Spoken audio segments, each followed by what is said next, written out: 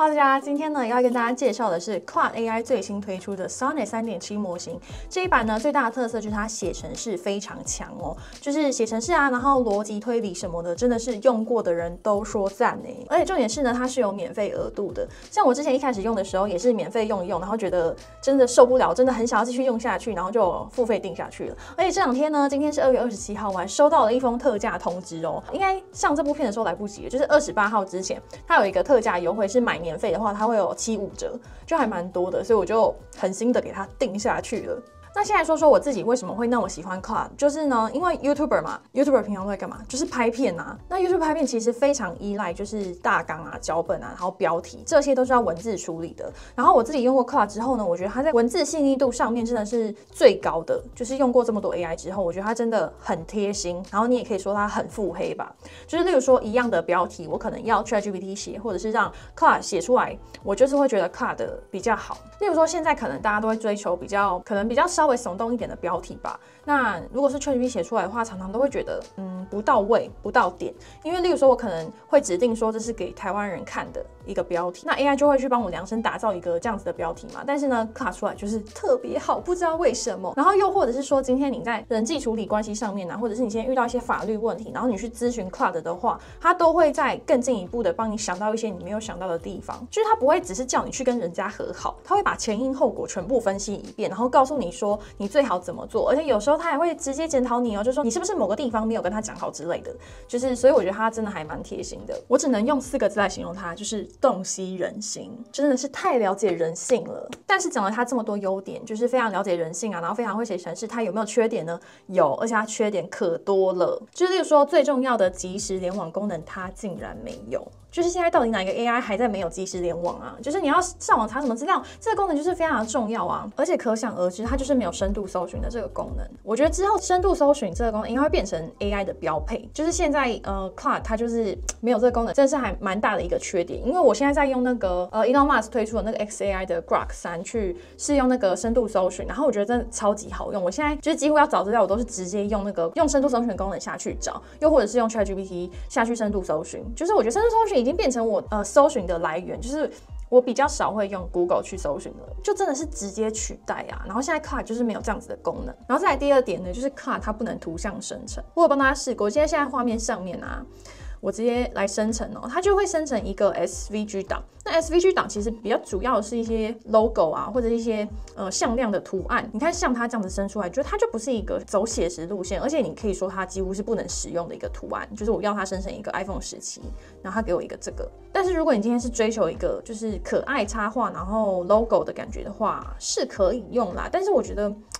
用处不高哎，就是像 Grok 三啊，我用它生图就是真的效果超好，给大家看一下，有没有欠揍表情？就真的效果非常好。好，虽然虽然没有很像啊，但是就是你知道它的生成图片是真的非常真实的这种图片，这是天差地别吧？所以你也可以说 Claude 它这个生成图案可以说是这功能是没有的。然后再来下一个它没有的功能，就是它没有语音模型。现在语音模型真的也是一个趋势，像 ChatGPT 的语音模型很好用嘛，然后像 Grok 三的那个语音模型，我们上次也有测试过，然后真的出来效果就是真的还蛮好的，你就真的很像在真人。对话，然后你也可以拿来就是聊天啊，或学习语言啊，都非常的好用。可是 Claude 目前好像就是没有要经营这一块，其实我觉得它没有多余的功能，它就是写成是非常强，然后聊天很强，但是它就是没有这些多余无微不微的功能这样子。但是即使是这样呢，我还是呃非常支持的，就是年费给它定下去了，因为我真的工作上是蛮高度依赖 Claude 来帮我写一些脚本或者是下一些标题之类，我不会完全的去采用它写的东西，但是它每次给我的架构都是呃我部分会采用，就是。一部分他写，然后一部分我写，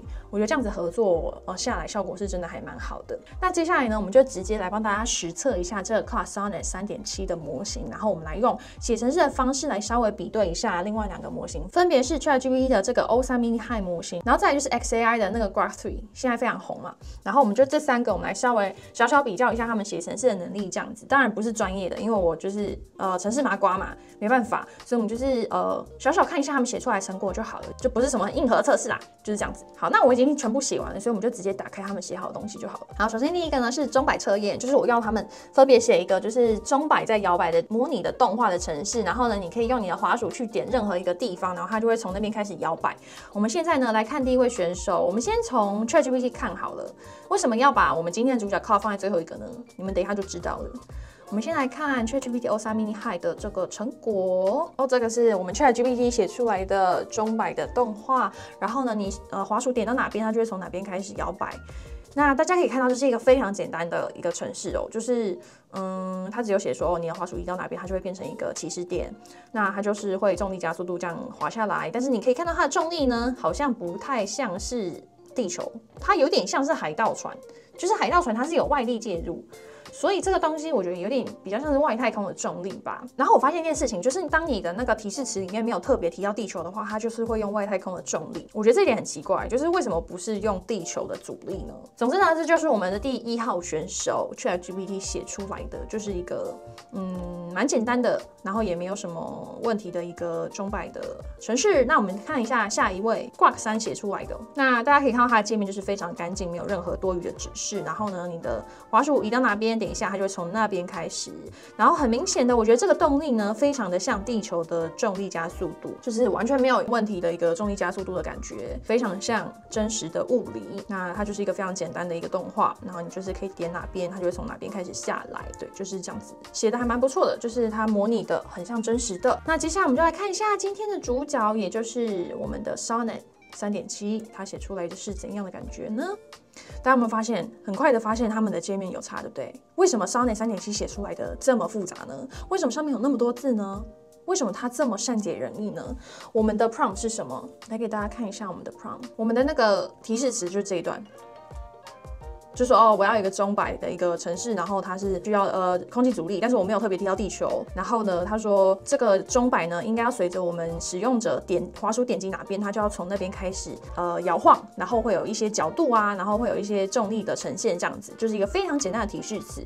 然后他竟然把我写的这么复杂。就是很贴心，不是很贴心吗？就是他连什么角度啊，然后什么空气阻力啊，然后什么东西，他全部都写在上面。而且这个空气阻力它是可以调整的，各位，这个东西是可以调整的。为什么呢？因为你看右边这边，它有一些就是指令，你今天按什么不同的按键呢？它可以去调整它的空气阻力，然后你还可以暂停什么，然后你还可以重设啊。不可思议，对不对？我觉得真的很不可思议，就是你只是给它这么短的提示词，然后它就自动帮你想到了后面这么多的东西，就是它加了这么多的东西哦。然后下面还有这个时间跟能量的那个比对线，太夸张了吧？然后大家来看一下它的效果，就是我点哪边，它就会从哪边开始。但是你会发现它的空气阻力是有点太大，就是不太像地球的。那例如说，我就是把空气阻力调到最低，它也是偏慢啊。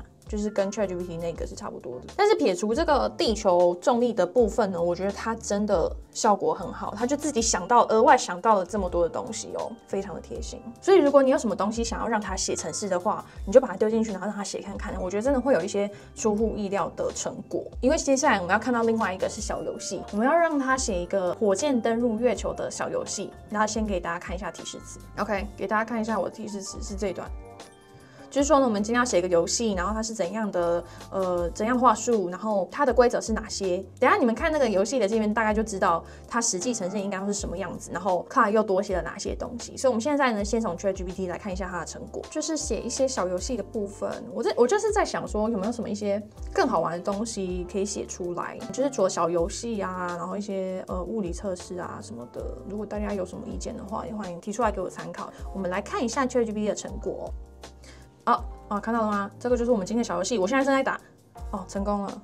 那这是一个就是登陆月球的小游戏，大家看到界面是非常简单的，就是它左上角有一个呃这个燃料，那这个燃料用完的时候，就代表说，嗯，你就是已经没有推进力了嘛。那它的主要目的就是你要用那个上下左右来控制你的火箭，让它登陆在这个平台上面。如果呢它掉到了其他地方，又或者是它的速度太快的话，它就会坠毁，而且它不能重来哦，它就是它就是一打开你就要开始立刻玩。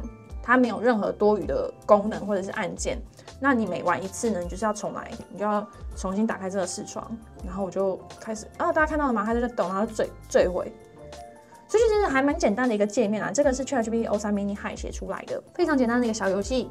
但是我蛮喜欢的，就是这些星星会一直跑，就是这些星星会一直动，这样子蛮可爱的。但是就没有什么特别的，它就是嗯偏简单。那我们再来看一下 Grok Three 写出来的 Grok。OK，它就是一打开你就要开始按按键，不然你就坠毁。那你看坠毁了吗？哦，对，刚刚没有讲到 ChatGPT，它也跟这个 Graph Three 有一个共通点，就是它的平台不会每一次都变。有没有？你每一次打开它的平台都在正下方，那你其实只要按上，一直按上，它就会呃顺利的停在那个平台上面。然后这个 Graph Three 呢，它左上角也有一些指标，就是有分数跟燃料嘛。我记得这个 Graph Three 写出来也很难哦，就是就算我再慢啊，它最后停在那平台但，它最后都还是会坠毁。那我就是尽量嘛，我就是尽量一直按上，就是嗯，哦，你看我都已经那么慢，它还坠毁。就很奇怪，它设计的非常奇怪。反正呢，现在我们要进到我们最后一个主角，大家看得过主角之后，就知道前面两个写的有多烂。我们的那个 Class Sonnet 三点七写的怎样？哦哦哦啊！坠毁。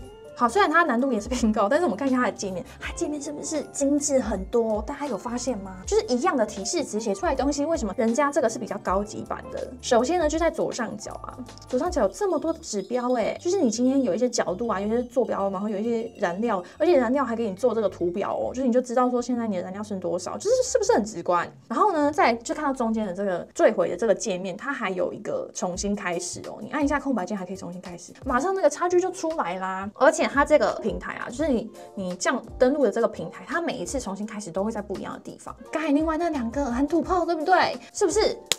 这个差距一下就出来嘞，多细致啊！就是人家写的多细致，为什么会这样子？一样都是 AI 耶，而且这个火箭它上面还有这个小火把，后面还会有那个火箭在喷射的那种特效。那你按一下上，它就会喷一下那个火。细节啊，细节。但是呢，有一个差别，就是它的星星是不会动的。刚刚那些星星都会动。这你会发现说，Cloud Sonnet 三点七它写出来的程式真的细腻度高很多哎，就是大概高了两倍吧？大家觉得有没有？应该是高了两倍有。所以现在写程式，大家用。用这个 Class Sonnet 三点七写出来，大家真的是一片称赞，都觉得它的效果非常的好。所以如果你有在用 AI 写程式，然后你还没有试过这个 Class 的话呢，建议大家可以试看看。尤其它现在又有免费额度，你就可以直接输入你想要写的东西，让它来调整。当然呢，我自己平常是没有在写程式，所以刚刚那个只是小小的示范，说 Class 跟其他的 AI 到底是差距有多大，其实是还蛮明显的，对吧？因为 Class 写出来就是真的还蛮细腻的。为什么会有这样子这么大的差距呢？就是我觉得每个 AI 的目标上可能不太一样。因为像 Claude 它自己本身就没有像刚才我讲的那些多余的功能嘛，那可能精力都投放在这个写程式的上面，那那也算是合理啦。那 ChatGPT 呢？据说他们最近有要动作，就是他们好像快要推出 O 三或者是新的模型了。就是上礼拜 Graph Three 推出的时候，ChatGPT 就那边呛声说他们也快要推出了嘛，但是到现在过了一个礼拜，就是什么风声都没有，所以我们就是敬请期待说他们会推出怎样的新功能。我自己非常的期待。所以今天呢，就是小小的示范这个 Claude 它的能力，就是少点三点七，大家可以用看看。我自己也要来开始实际的使用，因为我现在才跟它接触大概两两三天吧，嗯，还没有太多的心得。因为我一直以来其实都觉得它非常好用，就是写东西上面。那我现在用到目前为止，我还是觉得它很好用，就是跟以前是差不多好用的。就是在我写文字上面的话，感觉起来是差不多。但是在城市上面呢，就是真的进步很多。就算是我这个这个麻瓜用起来，感觉好像也是真的差很多哎。所以呢，大家就是可以去试用看看哦。那我们今天的介绍就到这边，如果大家还有什么疑问或者想要我测试的东西的话，欢迎在下方提出。那我们就下部影片再见喽，拜拜。